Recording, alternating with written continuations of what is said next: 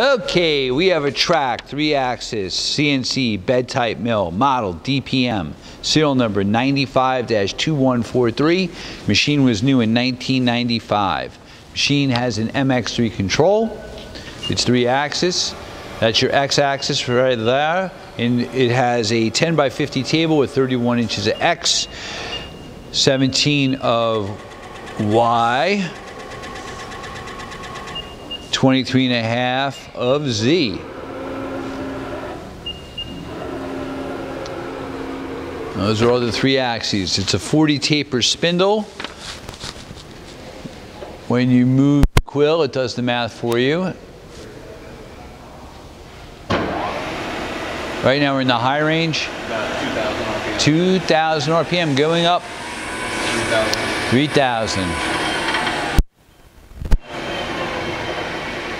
It's the low part of the high range. Spindle brake. And the low range.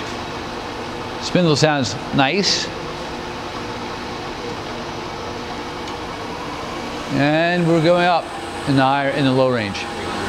300. All right.